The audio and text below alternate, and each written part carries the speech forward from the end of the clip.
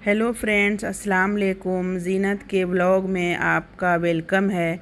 आज मैं बिहार का ख़ास रेसिपी लिट्टी चोखा दिखाने जा रही हूँ। लिट्टी बनाने के लिए सबसे पहले चने का सत्तू लेंगे, उसमें बारीक कटी हुई अनियन डालेंगे। फिर धनिया पत्ती डालेंगे, बारीक कटी हुई लहसुन बारीक कटे हुए, हरी मिर्च बारीक कटी हुई। आप जितना खाते हों तीखा, उस हिसाब से। कलौंजी।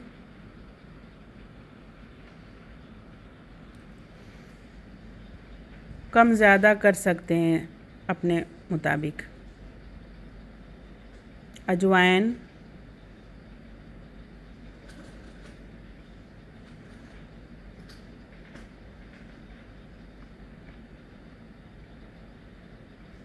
नमक अपने टेस्ट के हिसाब से।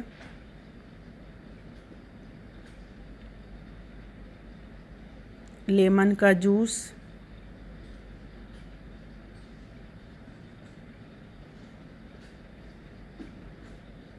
अचार के मसाले। अचार के मसाले डालने से टेस्ट बहुत अच्छा आता है।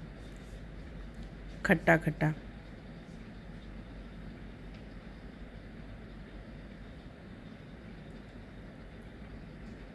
फिर इसमें मस्टर्ड ऑयल डालेंगे। इसमें पानी नहीं डालेंगे। मस्टर्ड ऑयल ही ज़्यादा जाएगा इसमें। फिर इसे सब पूरा मिक्स कर लेंगे।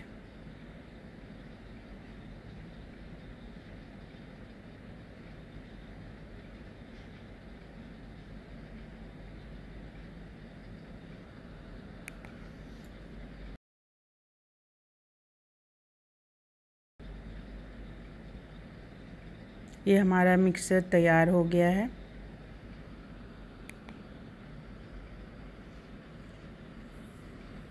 अब आटा लेंगे। आटे में नमक डालेंगे।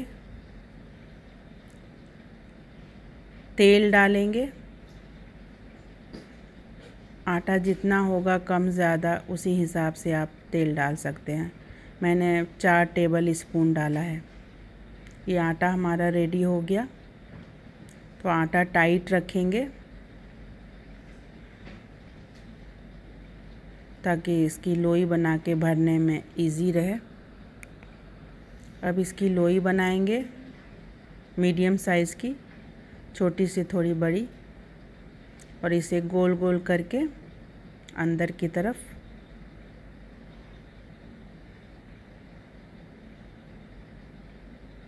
और इसमें ये सत्तू का मिक्सचर जो हमने तैयार किया हुआ है, इसे भर देंगे।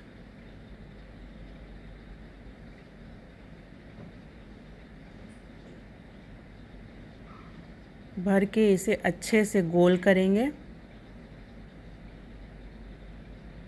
ताकि ये फटे ना, फटके ना गिरे। ऐसे गोल कर लेंगे। इसी तरह सारे लीटी बना लेंगे, गोल गोल। लीटी को सेकने के लिए हमने अपने बैकयार्ड में कोयले को जलाया। ये कोयला हमारा रेडी हो गया है। अब इस तरह से लीटी को हम सेक रहे हैं। ये देखिए, पलट दिया। बहुत जल्दी हो जाता है फ्रेंड्स ये। सीखने में टाइम नहीं लगता। ये देखिए। हमारे घर गेस्ट आए थे तो हमने थोड़ा ज़्यादा बनाया है।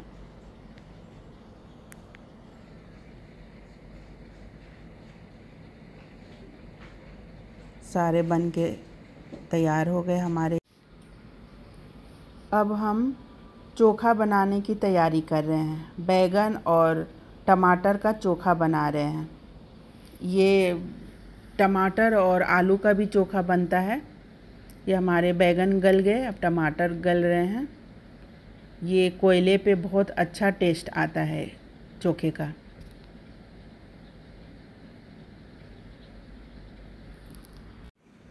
टमाटर के छिलके निकलने शुरू हो गए हैं। इसका मतलब है कि टमाटर भी गल गए हैं।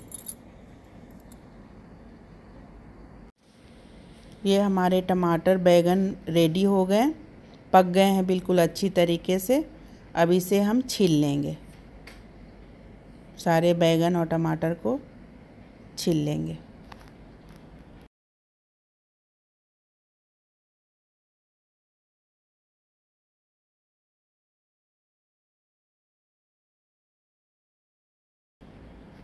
इस तरह से इसका छिलका निकल जाएगा। ईज़िली निकल जाता है फ्रेंड्स टमाटर सेकने के बाद। बहुत अच्छे से गल गया है। देखिए, इस तरह से बैगन के भी छिलके निकल जाएँगे।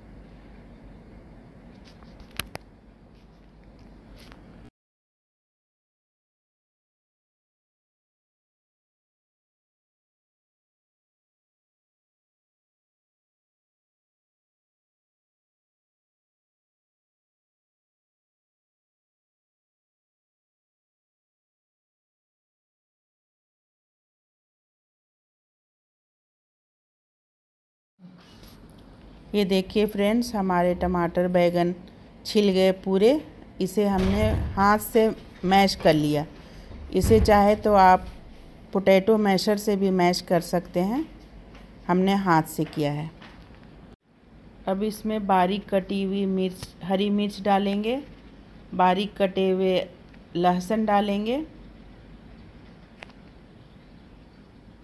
बारीक कटी हुई प्याज।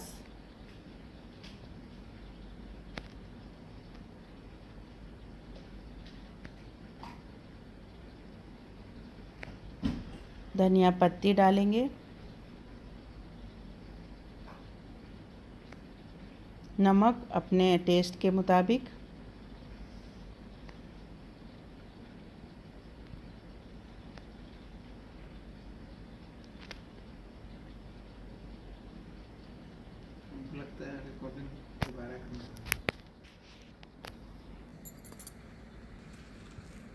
और अब इसमें मस्टर्ड ऑयल डालेंगे।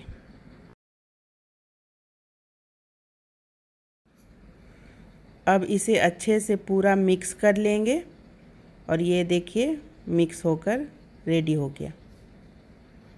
चोखा। बिहार में एक और मिर्चे की चटनी बहुत पसंद की जाती है। इसमें सिर्फ़ लहसुन और मस्टर्ड ऑयल नमक डालकर बनाते हैं, कूच कर बनाते हैं, इसलिए इसे कुचला भी बोला जाता है।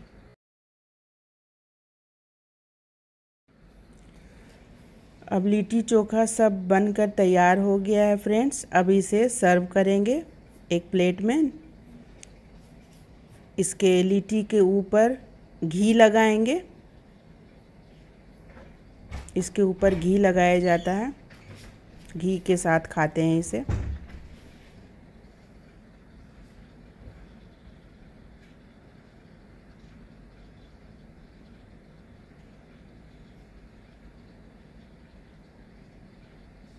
एक साइड में मैंने ये रखा है कुचला, मिर्चे का और ये है चोखा। ये सर्व करिए और खाइए और खिलाइए। आप भी बनाइए फ्रेंड्स और मैसेज करिए मुझे कि कैसा बना, आपने कैसा बनाया, कैसा लगा इसका टेस्ट। बहुत ही अच्छा होता है। मेरे इस व्लॉग को प्लीज़ लाइक, शेयर, कमेंट और सब्सक्राइब करें। By Allah Hafiz.